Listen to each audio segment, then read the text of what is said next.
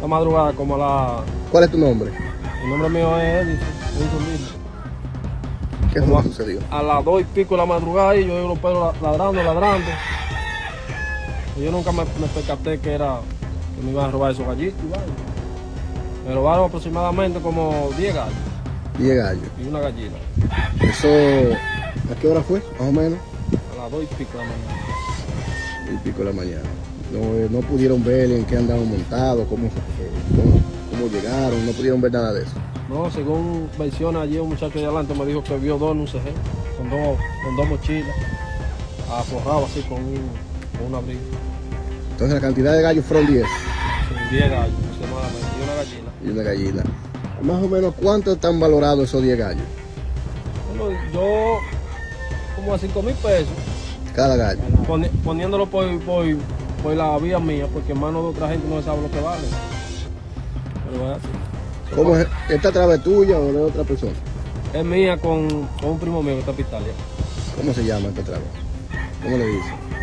Daba la leche. La leche. ¿Qué llamado tú le haces a las autoridades?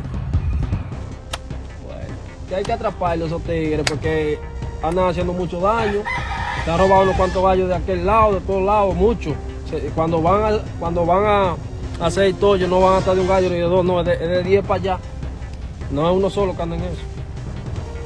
Que No. Dios lo cuide. ¿No se- sospecha más o menos de alguien? Sí, puede hacer que tenga. Tú sabes, pero no se puede jugar nadie tampoco. Que se cuiden, porque ya eso. Eso no se sabe, ¿cómo le digo? Eso no se sabe en qué anda. Eso hay que tirarle para matarlo. Yo, por lo mío, yo, yo cojo Mm. con estos animales. Este, eh, ¿dónde, ¿Cómo se llama esta, este, este sector aquí, esta comunidad? Los rieles. Los rieles de ese nombre. Muchas gracias. cosa que pase dentro de una traba aquí en Senoví, nosotros no somos responsables, que nosotros vamos a tirar, a dejarlo lisiado o a matar. Porque todo el que anda haciendo daño así debe de pagar por los hechos. Y aquí nada más no es aquí que se han entrado.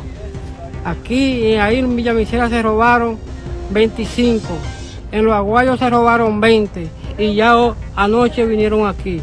Entonces, son gente que andan haciendo daño, son gente dañina y hay que tomar cartas en el asunto. Sean las las autoridades o nosotros con nuestra mano propia. La vamos a hacer si lo encontramos dentro de la traba.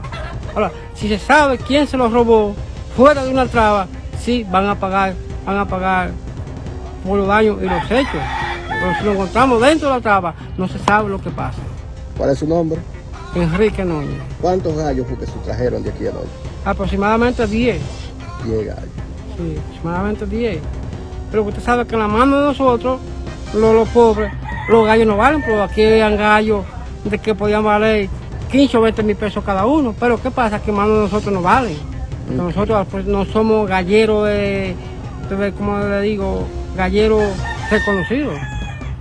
Que en manos de otro gallero ya reconocido el valor de Pues, gallos se, se- De, de- se de- incrementa de 20 para allá, de 20 para allá. de 20 mil pesos para allá. Porque yo soy un pizapaja, yo he vendido gallos a 15 mil pesos.